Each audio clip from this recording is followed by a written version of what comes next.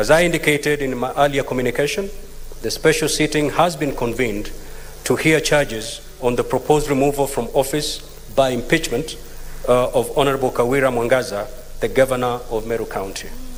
Pursuant to Section 33.3b of the County Government Act and Standing Order 81A of the Senate Standing Orders, I hereby proceed to read the charges against the governor of Meru County as contained in the motion of impeachment by the County Assembly of Meru. Charge 1 Nepotism, illegal appointments, unlawful dismissals, and usurpation of the constitutional and statutory functions of county organs. The particulars of these allegations include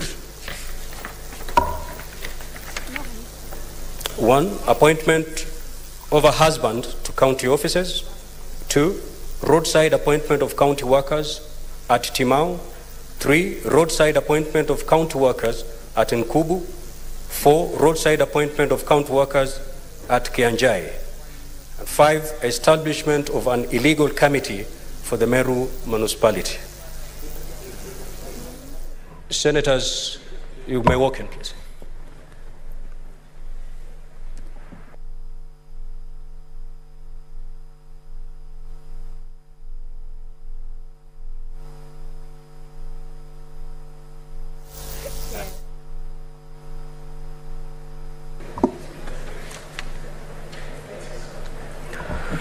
Charge 2 Incitement, bullying, vilification, and misleading campaigns against other leaders. The particulars of this allegation include 1.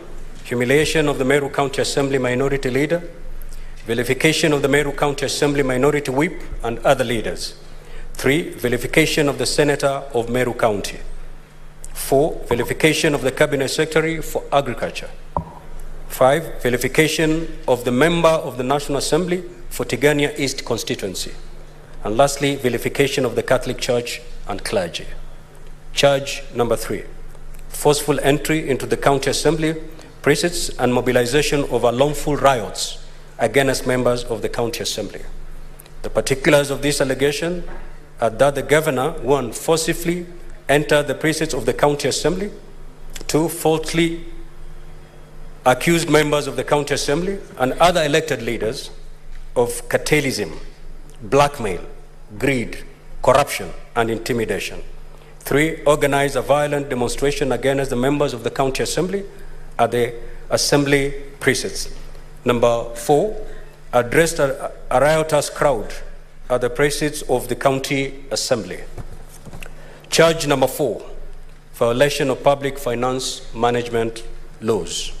The particulars of this allegation are that the governor, one, directed the Meru Teaching and Referral Hospital to spend all revenue at source.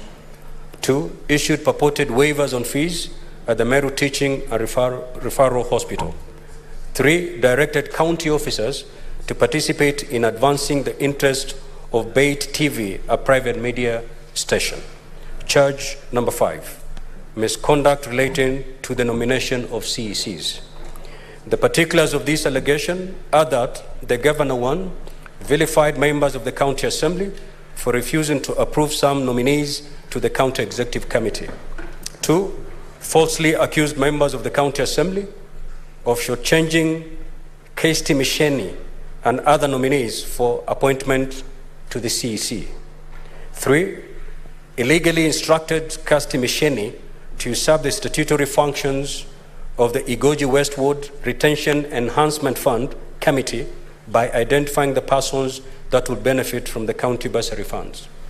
Four, failed to submit names of other candidates to the county assembly for approval for appointment to the CEC. Five, re- uh, reorganize her government to six departments and three CEC members after the rejection of some nominees instead of submitting names of other candidates to the county assembly for approval.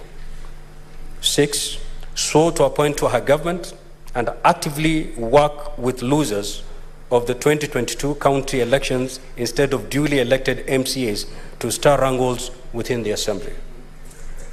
Honorable Senators, in terms of the way forward, following the reading of the charges against the governor, Standing Order 81B of the Senate Standing Orders,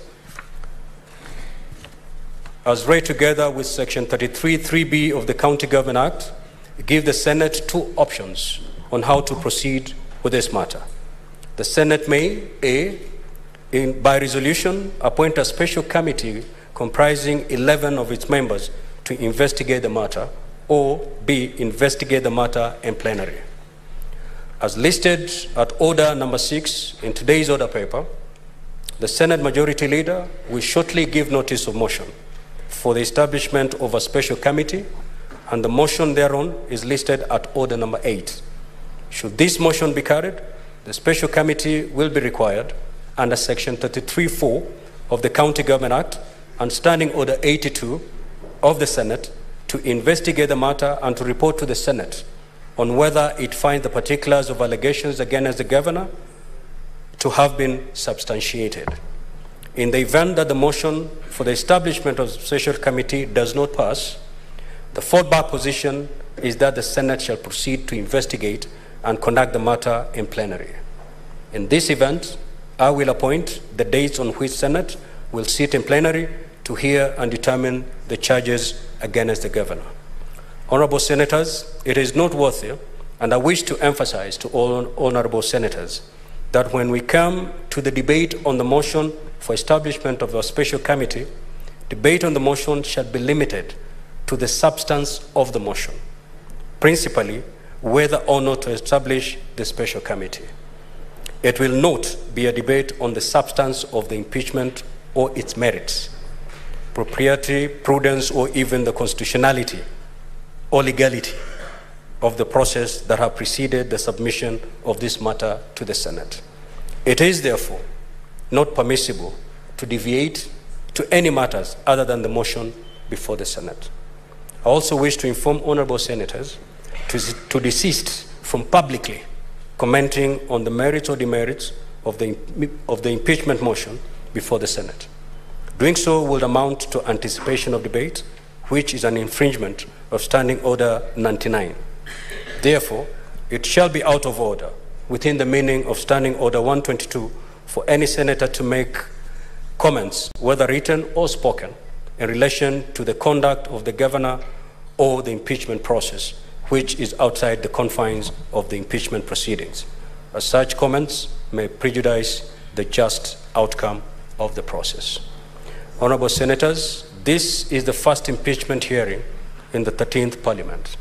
Such a hearing is one of the most crucial oversight tools and singular roles of the Senate. In undertaking this mandate, the Senate will be sitting as a quasi judicial body and will conduct investigations into the alleged uh, infractions of the Constitution and the law, and thereafter make its determination in this matter. I conclude by urging all honorable senators to exercise the highest level of responsibility on this matter. Honorable senators, I thank you. Next order. Order number four, petitions. Order number five, papers. Order number six, notices of motion. Majority